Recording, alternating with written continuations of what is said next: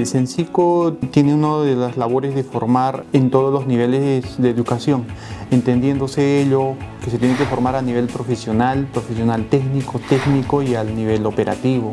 A nivel profesional solamente el perfeccionamiento, especializaciones en temas específicos, a contrataciones, habilidades de administraciones de obras, cosas de esa naturaleza.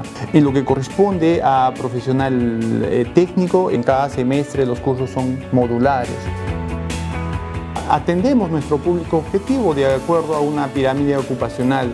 A los profesionales, aquellos que tienen una formación universitaria o están en proceso de formación universitaria porque ya tienen una base, puede ser más profesionales que tienen ya un posgrado pero que desconocen de ciertos manejos administrativos.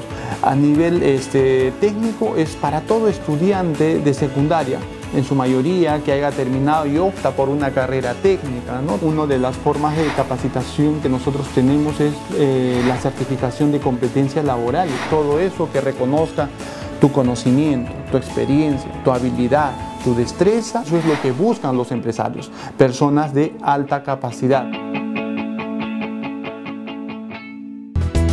Ministerio de Vivienda, Construcción y Saneamiento. Gobierno del Perú. El Perú primero.